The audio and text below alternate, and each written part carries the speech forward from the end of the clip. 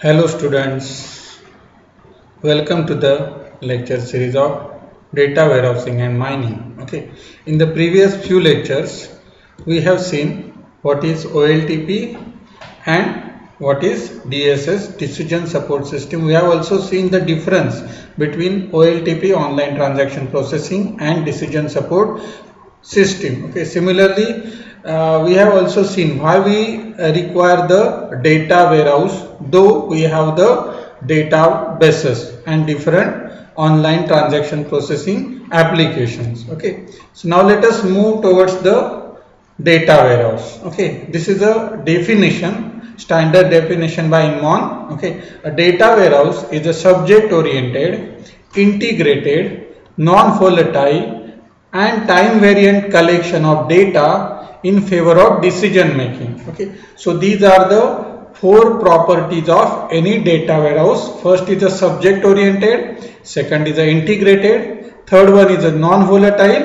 and last one is a time variant. Okay? Now let us look at these properties in more detail. Okay? So first is subject oriented. Okay? Uh, in operational uh, sources data is organized by application or business processes. Okay. So for example uh, let us take a simple example uh, of uh, order processing application. Okay. In order processing application data set is uh, data set uh, or we can say uh, that application will provide the data for all the functions for entering orders checking stock verifying customers decredit and assigning the order for the shipment. Okay. But these data sets contain only the data that is needed for these functions related uh, relating to that particular application. In our case order processing system okay? So here uh, the OLTP or online transaction processing system or operational system or operational sources okay? Uh, these contains data that are required for that particular application only okay? But this is not case with the data warehouse okay? In data warehouse okay the data is organized according to the subject okay? So subject is very important concept in case of data warehouse. Okay. Again this subject vary from enterprise to enterprise. Okay. Uh, that will be depend upon uh, type of enterprise or type of uh, business. Okay. For which we are building the data warehouse. Okay. And what are the subject? These are the critical factors. Okay. These are the critical factors or very important factors okay uh, who can uh, whose performance affect the enterprise or organization okay for example, uh, for manufacturing company, sales, shipment, inventory are the critical factors are uh, or we can say these are the subject for the manufacturing company. Okay.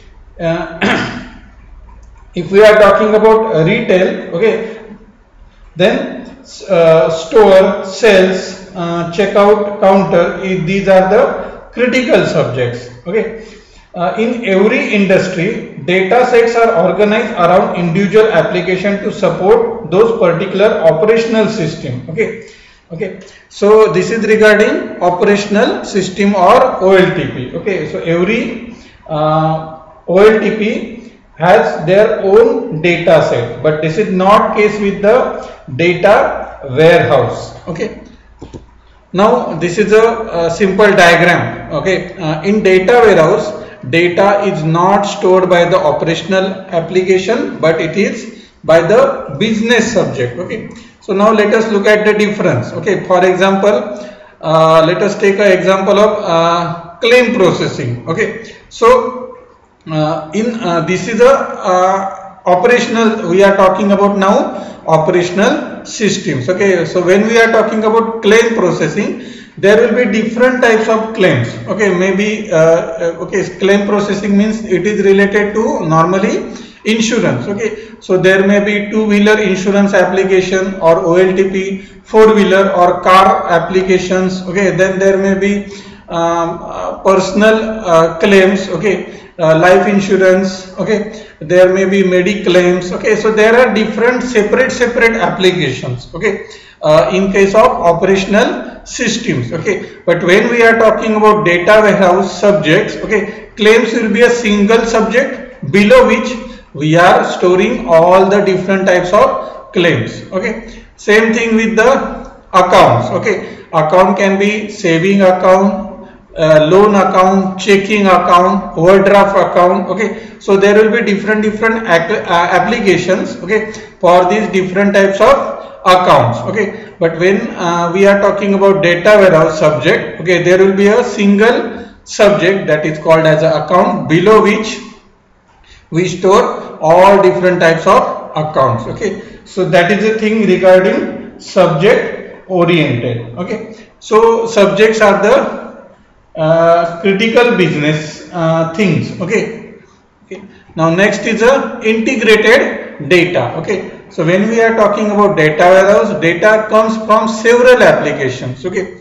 And when we are talking about several application okay uh, and getting the data uh, from the several application we have to integrate these data okay? So while integration okay there may be different problems that we have to tackle. Okay so for example there may be a difference in file layout encoding scheme field names systems operating system we can say schema of the database then data heterogeneity okay.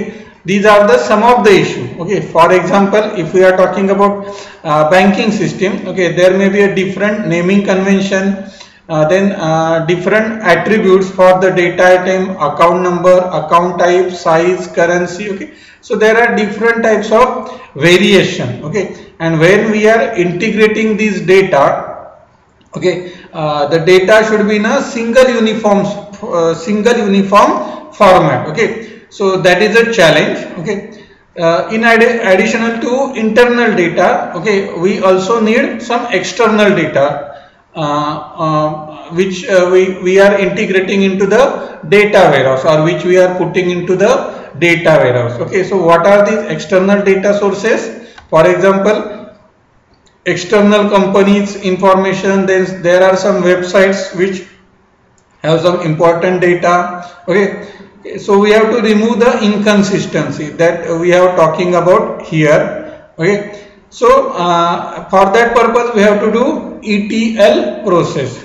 ETL stands for extraction, transformation and loading. Okay, so this is very important term in case of integration of data. Okay, extraction, transformation and loading. Okay, so uh, here uh, as we have seen earlier, okay, uh, there may be a loan account, checking account and saving account. These are the different uh, operational systems. Okay, but uh, here in our data warehouse, subject is account and we have to take all data from these three different applications into the single subject that is called as a account. Uh, okay, and for that purpose we have to perform the ETL extraction, transform and loading. Okay in order to integrate all the data okay so that is regarding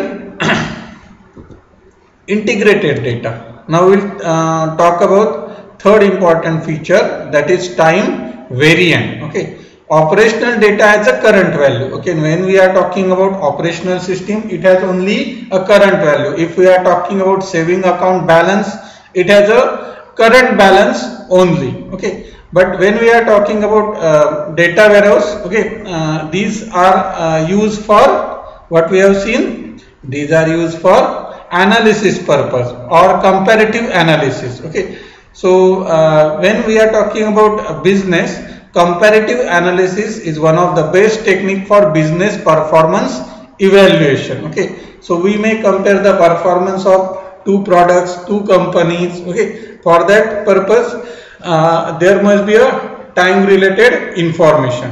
Time is critical factor for comparative analysis. Every data structure in data warehouse contains time element. Okay. In order to promote products in a certain uh, analyst has to know about current and historical value okay so uh, associated with every data uh, entry in the data warehouse there is a time value it may be a particular date particular week particular month or particular quarter okay but there must be some time associated value with every entry in the data warehouse. Okay? Because uh, due to this what are the advantages we get? It allows for analysis of the past.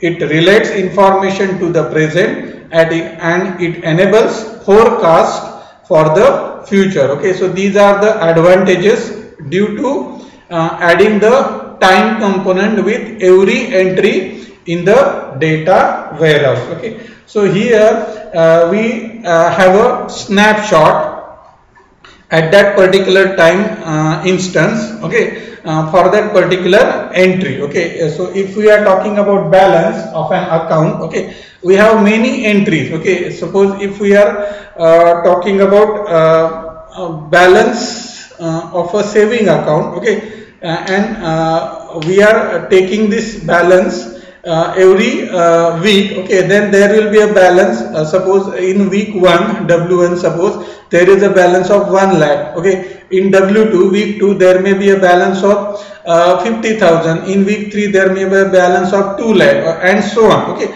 So uh, by analyzing these different values okay we can come to know different factors or different interesting things okay. But for that purpose what is required time should be associated with every entry in the data warehouse. Okay, okay. now last is non-volatile. Okay? So data in the operational system are moved into the data warehouse after specific intervals. Okay?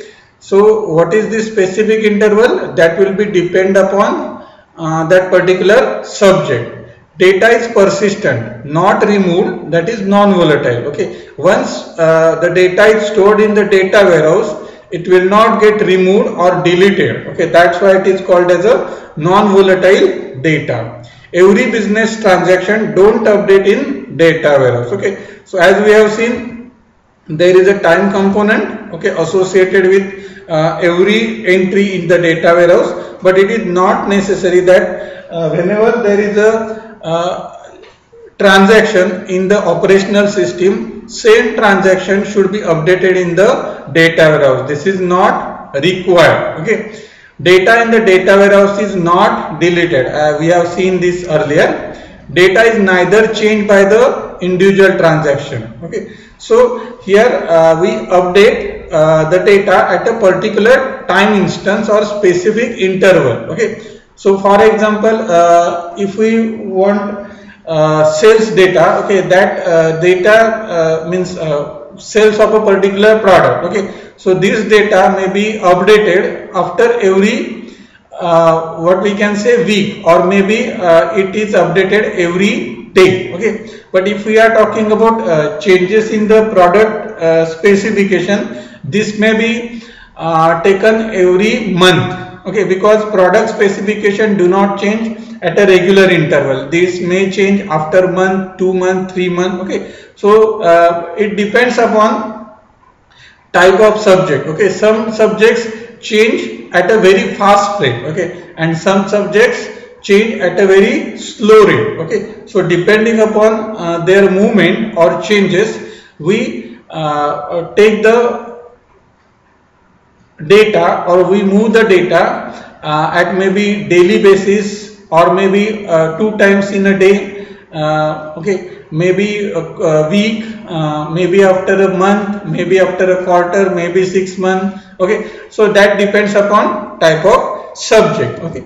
So this is what uh, we have seen okay. In oltp databases data can be read uh, data can be added it may be get updated or we may delete the data in our normal databases. But once we load the data at a specific interval from this OLTP databases to the data warehouse we can only read the data okay? We can only read the data but we cannot delete the data okay? So these are the four properties of data warehouse that is first is a subject oriented next is a integrated data third one is a time variant okay and fourth fourth one is a non volatile data okay. So that's it regarding properties of a data warehouse. Thank you students